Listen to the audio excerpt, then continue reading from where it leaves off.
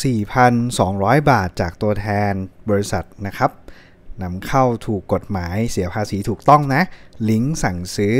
ราคาเป็นตัวเลขเป็นบาทนะครับ รายละเอียดสเปคไฟฉายหาอ่านเพิ่มเติมใน description ใต้วิดีโอนะครับ หรือพินคอมเมนต์ก็ได้ในคอมเมนต์ปักหมุดนะ ผมจะให้ไว้ทั้งลิงก์สั่งซื้อทั้งราคาทั้งสเปคไฟฉายในนั้นเลย ถ้าใครมาถึงถามราคาเลยนะครับ ไม่กดดูแน่ ๆ นะครับ เพราะว่าผมพูดตั้งแต่ต้นเลยว่า 4,200 บาทนะครับ 4200 เดี๋ยวรีวิวไปเรื่อยๆ แล้วผมจะพูดราคาอีกครั้งหนึ่งนะครับ บอกว่ายังไม่ทราบราคา ยังไม่รู้ก็แสดงว่าไม่กดดูแน่นอนนะครับ ไม่ต้องมาเถียงเลยนะ เพราะผมเริ่มคลิปเริ่มบันทึกปุ๊บก็บอกราคาเลย 4,200 บาทนะ 4200 นี่คือไฟคาดหัวหรือเป็นไฟเป็น Angle Light นะครับ ตัวหนึ่งที่น่าสนใจมากของ Phoenix นะครับ โดยมีชื่อรุ่นคือ HM71R นะครับ HM71R เป็นไฟ Angle Light ไฟคาดหัวหรือเป็น Work Light นะครับที่ออกมาในปี 2023 นะครับ ช่วงประมาณกลางกลางปี ตอนขนาดผมถ่ายรีวิววันนี้เป็นวันที่ 14 พฤษภาปี 2023 นะครับ ก็จัดว่าค่อนข้างใหม่เลยแหละ กล่องก็จะมาเป็นกล่องพลาสติกใสๆนะครับ แล้วก็จะมีชื่อรุ่นนะครับ HM71R Phoenix จะมีไฟคาดหัวเยอะซีรีส์มากนะ จะมี HL Series HP Series นะครับ แล้วก็ HM Series เท่าที่ทราบตอนนี้จะมีด้วยกัน3ซีรีส์ HL เนี่ยจะเป็นไฟคาดหัวแบบไม่มีสายโยง ไม่มีแบตเตอรี่แพ็คแยกนะ คือมันจะเน้นแบบคล่องตัวเบาๆ ถ้า HP ก็จะมีสายต่อแบตเตอรี่แพ็คออกมายาวๆหน่อย เน้นเปิดนานๆ เน้นแสงแรงนะครับ ก็จะแพงด้วยแล้วตัวใหญ่ด้วย แต่เน้นเปิดนาน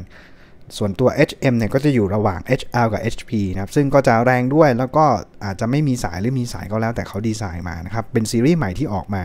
เมื่อไม่นานมานี้นะประมาณสัก 2-3 ปีที่ผ่านมานะครับตัวนี้จุดเด่นคือเป็นไฟฉายที่มีแสงให้เลือกใช้งานหลายแบบนะครับในตัวเดียว แล้วก็จะมีใช้งานเป็นไฟคาดหัวก็ได้ ใช้งานเป็นไฟถือหรือเป็นไฟวางก็ได้นะครับ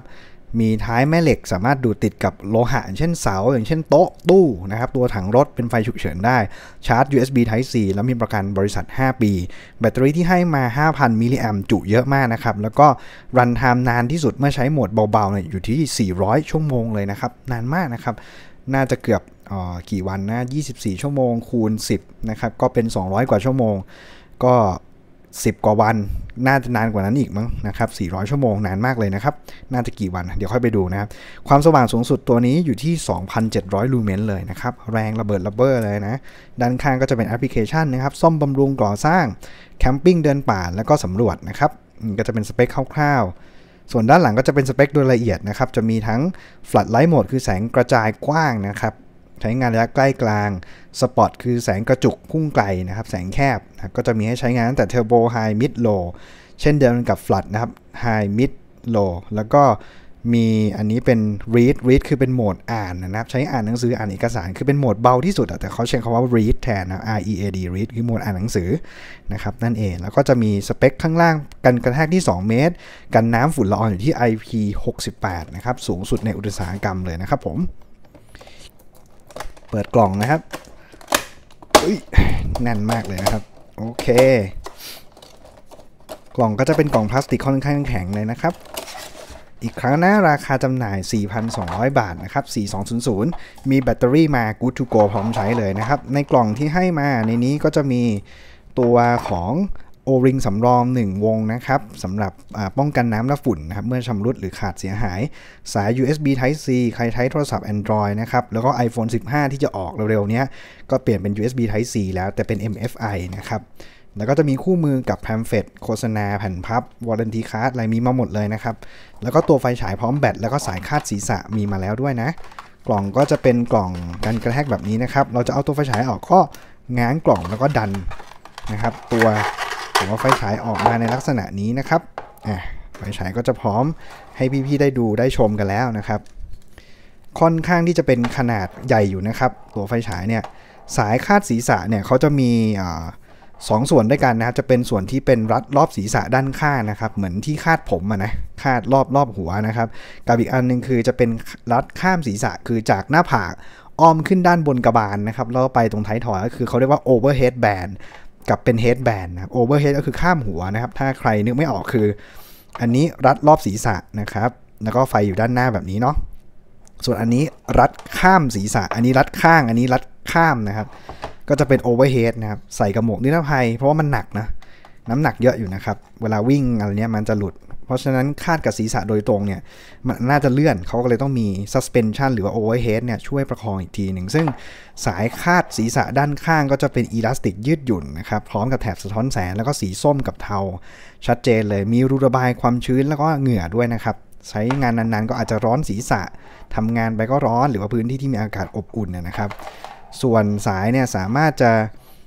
ใช้งานได้ทั้งศีรษะเลยตรงๆ รวมถึงใช้งานกับหมวกนิรภัยก็ได้เพราะเขามีการยิงซิลิโคนด้านในช่วยในการ grip กับหมวกนิรภัย แล้วก็ grip กับศีรษะเลยตรงๆนะครับ ตัว bracket หรือตัวเมาส์เนี่ยทำด้วยพลาสติกนะครับทนแรงกระแทก แล้วก็จะมีจุดที่ยึด overhead band นะครับด้านบน ส่วน overhead band ก็จะปรับความกว้างได้เหมือนกันนะครับ แล้วก็จะมีตัวคลิปประคองด้านหลังแบบนี้ โดยถ้าเราจะใช้งานนะครับเราก็เพียงแต่ ปรับสายให้ตรงกับขนาดศีรษะที่ต้องการนะครับ หรือหมวกนิรภัยที่ต้องการ เช่นหัวใหญ่ก็ปรับให้มันหลวมๆด้วยการเลื่อนตัวเบลคลิปตรงนี้นะครับ ได้ที่แล้วเราก็เอา overhead band เนี่ยนะครับปรับให้ได้ที่เหมือนกัน แล้วเราก็เลื่อนนะครับ ตัวนี้คล้องเข้าไปข้างใต้แบบนี้นะครับ ตามนี้เลยนะ มันเป็นเหมือนเป็นตัวเกี่ยวนะครับ แล้วดันเข้าไปแอบแค่นี้เองนะครับ แล้วก็ใช้งานก็ใส่เข้าไปที่ศีรษะหรือหมวกนิรภัย มันก็จะช่วยป้องกันตัวไฟฉายเลื่อนหลุดลงมาข้างล่างตรงหน้าเรานะให้มันอยู่บนหน้าผากอยู่ หน้าตาเขาก็จะเป็นประมาณนี้นะครับก็ถือว่าเป็นไฟฉายค่อนข้างใหญ่เลยแหละ หน้าตานะครับ นี่ผมจะลองจับให้ดูนะ ค่อนข้างที่จะถ่ายยากนิดนึงไม่รู้จะถ่ายยังไงให้มันเออให้พี่ๆเห็นว่านี่หน้าตาเป็นอย่างนี้นะครับ Phoenix HM 71R นะครับ ถ่ายยังไงให้มันสวยวะ มันไม่สวยแน่ๆนะครับ ผมขอถ่ายปกก่อนแล้วกันนะ เออ จับยังไงให้มันได้ได้วะ เออ อย่างนี้ก็ได้อะ Phoenix HM 71R นี่นะครับ ตามนี้เลยฟึบโอเค ตัว housing นะครับ ก็จะเป็นท่ออลูมิเนียมนะครับ ซึ่งจะมีเมาส์ที่เป็นเมาส์โลหะด้วย เขาจะออกแบบมาเป็นไฟฉายที่สามารถจะถอดจากตัวแบรกเก็ตนี้ได้นะครับ จะมีป้ายบอกว่า detach นะครับ ก็คือเอาออกนะครับนั่นเองนะครับ ก็คือวิธีก็คือดันนะครับ แบบนี้ออก สไลด์ออกแบบนี้เลยนะครับ ดันดันเนี้ยนี่ดันเข้าดันออกนี้ ออกแล้วนะครับ แค่นี้มันก็จะแยกออกจากตัวแบรกเก็ตหรือตัวเมาส์ก็จะเป็นไฟฉายถือละ ถืออย่างเงี้ยทรงสเปรย์นะครับสเปรย์เหมือนสเปรย์ไหมจับอย่างเงี้ยนะ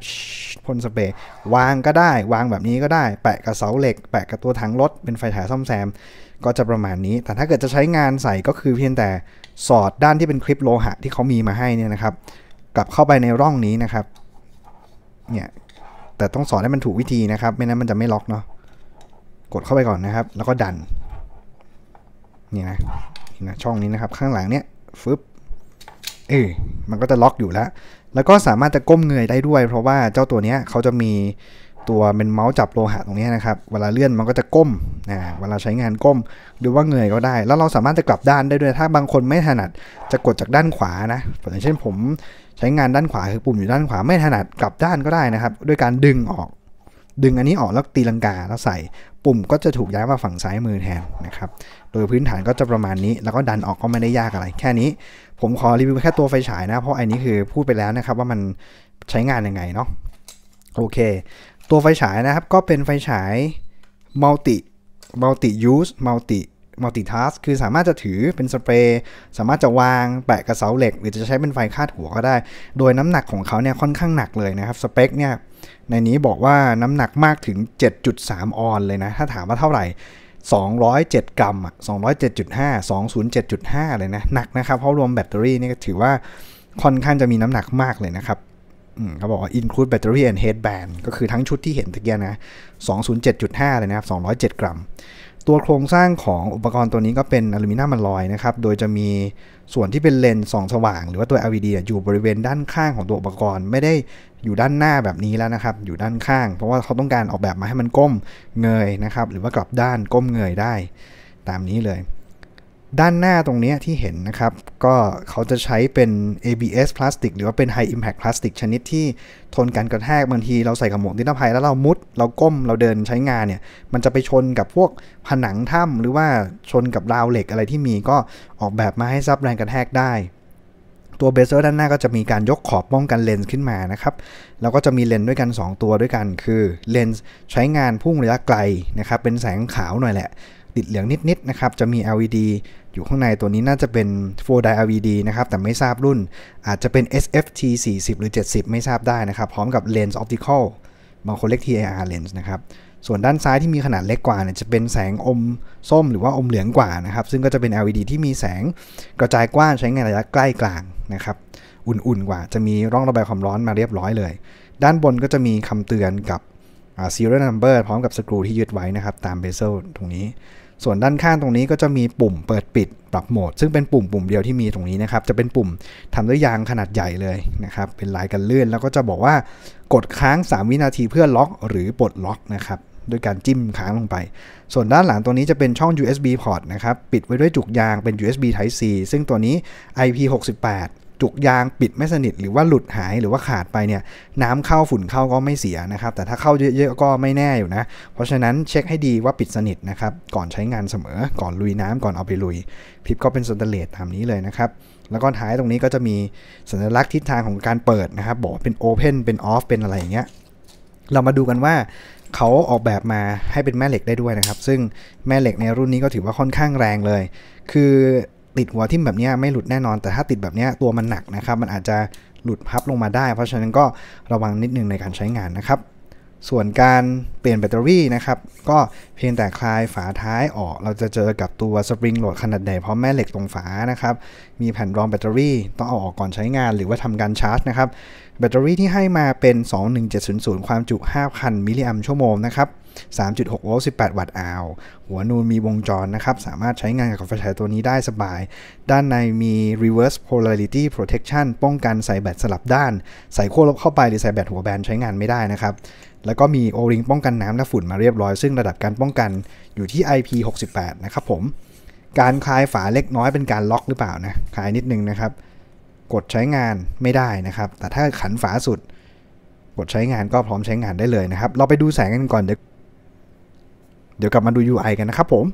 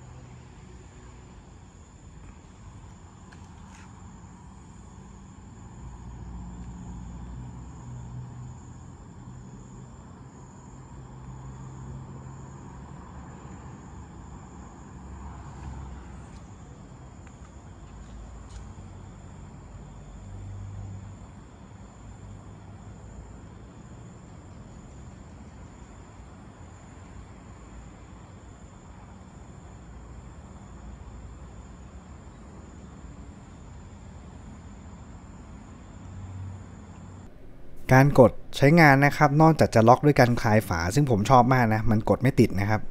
ล็อกแบบด้วยการใช้กลไกหรือว่าเรียกว่า mechanic นะครับ mechanic ล็อกแต่การล็อกด้วยอิเล็กทรอนิกส์ล็อกหรือล็อกด้วยสวิตช์กับระบบเนี่ยกดค้าง 3 วินาทีมันจะล็อกกดค้าง 3 วิปลดล็อกนะครับค้าง 3 วิติดก่อนนะแป๊บหนึ่ง3วิแล้วเดี๋ยวมันก็จะล็อกอ่ามันจะกระพริบแบบเนี้ยตอนนี้ไฟทำงานไม่ได้แล้วนะครับ กดลงไปก็จะแค่ blink blink แบบเนี้ยนะแต่ไฟมันจะ ใช้งานไม่ได้แล้วนะครับ ก็จะเป็นวิธีล็อกด้วยอิเล็กทรอนิกส์ล็อก ถ้าจะออกนะครับนี่จะมีไฟบอกแบตด้วยนะครับ แบตเขียวคือมีอยู่เยอะเนาะ จะออกนะครับ หรือว่าอันล็อกก็คือกดสวิตช์ลงไป 3 วิเหมือนกันจนกว่าไฟจะเริ่มทำงานอีกครั้งนะครับ นี่กระพริบขึ้นมาแล้วไฟก็ทำงานแล้วนะครับ ส่วน UI ที่มีใช้งานก็จะมี Spot Mode ก็คือเป็นแสงแคบพุ่งไกลนะครับ กระจุก กับอีกอันคือ Flood Mode คือแสงกระจาย ใช้งานระยะใกล้นะครับ เปิดปิดไฟฉายนะครับด้วยการกดสวิตช์ลงไปค้างสักครู่หนึ่งจนไฟติดขึ้นมา โดยไฟจะเริ่มเปิดที่ Spot Mode ก่อนเสมอ แสงจะมีให้ใช้งานด้วยกันทั้งหมด 4 ระดับด้วยกันคือ low อยู่ที่ 50 lumens นะครับเดี๋ยวผมจะลองนี่50 lumens นะครับ low 48 ชั่วโมง คลิกอีกครั้งหนึ่งเป็น medium 200 lumen ที่ 16 ชั่วโมงนะครับไฮอยู่ที่ 800 ลูเมน 5 ชั่วโมง และเทอร์โบ 2,700 ลูเมน 3 ชั่วโมง เป็นเวลารวมนะครับ ซึ่งก็ มันก็ร้อนนั่นแหละนะเนี่ยคลิกแต่ละครั้งนะครับ low medium high turbo ตามนี้เลยแสงก็จะพุ่งๆหน่อยนะครับขาวๆหน่อยติดเหลืองนิดเดียว ส่วนการเปลี่ยนไปเป็นโหมด flat นะครับโหมดกระจายก็คือกดสวิตช์ค้างลงไปตั้งแต่ตอนที่ไฟเปิดเลยนะค้างสักครู่หนึ่งจนไฟสลับมาที่ flat นะครับ ซึ่งโหมด flat เนี่ยเบาสุดอยู่ที่ 5 lumens ซึ่งเขาจะเรียกโหมดนี้ว่า read mode คือโหมดอ่านหนังสือใช้งานระยะใกล้นะครับ อ่านเอกสารอ่านอะไรสำหรับช่างหรือพวกที่เป็น คนงานซ่อมบำรุงอะไรเงี้ยก็จะเป็น 5 ลูเมน 400 ชั่วโมง คลิกอีกครั้งหนึ่งจะเป็น 50 ลูเมน 48 ชั่วโมงนะครับ medium 200 ลูเมน 16 ชั่วโมง แล้วก็ high 500 ลูเมน 8 ชั่วโมงนะครับ ก็ถือว่าแสงทำได้ดีเลยนะ 5 50 200 แล้วก็ 500 นะครับ ที่แสงสีส้ม จะกลับไปเป็นโหมดแสงขาว ก็กดสวิตช์ค้างสักครู่จนไฟแสงขาวติดขึ้นมา กดค้างอีกก็จะเป็นแสงส้มนะครับ เนี่ยตามเนี้ยสลับไปสลับมา เนี่ยก็จะเริ่มที่โหมดเบาสุดก่อนนะครับ ส่วนการเรียกเมมโมรีก็คือ ถ้าเราเปิดแสงขาวอยู่แล้วเราปิดนะครับ กดมาใหม่ก็จะขึ้นที่แสงขาว แต่ว่าโหมดอันนี้มันจะไม่มีเมมจำนะครับเนี่ยมันจะไปแสงขาวก่อนเลย อันนี้ผมเปิดระดับมีเดียมมั้งสมมติผมเปิดที่ระดับ 3 บ้างอะแล้วผมปิด เปิดมาใหม่ก็คือเป็นระดับที่ 3 ประมาณนี้นะครับ มันจะมี mem เฉพาะแสงขาวแสงส้มมันจะไม่มีนะครับ ต้องกดเรียกแสงส้มด้วยการกดค้างสักครู่หนึ่งแล้วมันจะสลับไปแสงส้มก็ประมาณนี้นะครับ ก็เป็นไฟฉายตัวทรงตัว L ทรงสเปรย์ที่แสงแรงไหม แรงนะเทอร์โบเนี่ยแสงขาวเนี่ย2,700 ลูเมนเลยนะครับ high 800 ลูเมน medium 200 ลูเมนแล้วก็ low 50 ลูเมนนะครับส่วนแสงส้มแสงเหลืองเนี่ยก็จะเป็น500 250 แล้วก็ 5 นะครับ ก็ตามนี้เลย จะเรียกแยกเป็น flood mode กับเป็น spot mode เปิด 2 อย่างพร้อมกันไม่ได้นะครับ แล้วก็คลายฝานี่คือล็อกง่ายกว่า ไม่อยากให้เป็นล็อกแบบนู้นเลย ดู playlist ย้อนหลังใน Hand Free Light นะครับ มีทุกยี่ห้อทุกรุ่นเท่าที่ผมเคยรีวิวเลย แล้วก็ถ้าชอบกดไลค์กดคอมเมนต์กันอย่างสุภาพด้วย ไว้เจอกันใหม่ EP หน้าสำหรับวันนี้สวัสดีนะครับ ขอบคุณมากที่ติดตามชม h e b i Riden Out